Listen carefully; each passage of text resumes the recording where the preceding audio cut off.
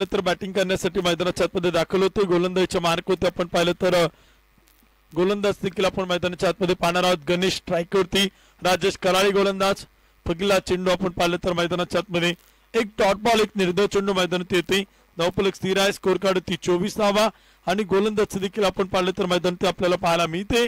षटक क्रमांक दोन मध्ये गोलंदाज राजेश कराळे तो मात्र करतोय गोलंदाजी.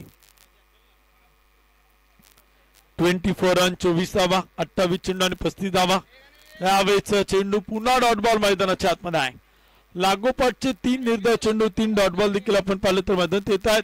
सत्तावीस चेंडू आणि पस्तीस धावांची गरज आहे.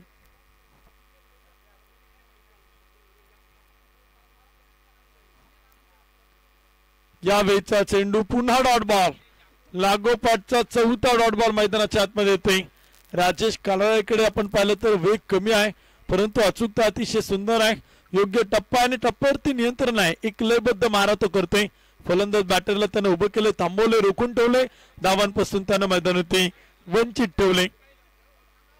पुन्हा एकदा डॉट बॉल मैदानाच्या आतमध्ये आहे. लागोपाठचा बॅक टू बॅक पाच डॉट बॉल ते मात्र मैदानाच्या आतमध्ये आहेत.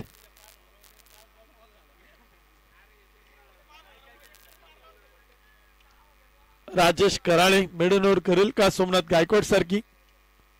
यावेळेचा चेंडू होता फटका फसलाय सेल टिपलाय विकेट मेडनोर टाळ्यांचा गजर होत एकदा.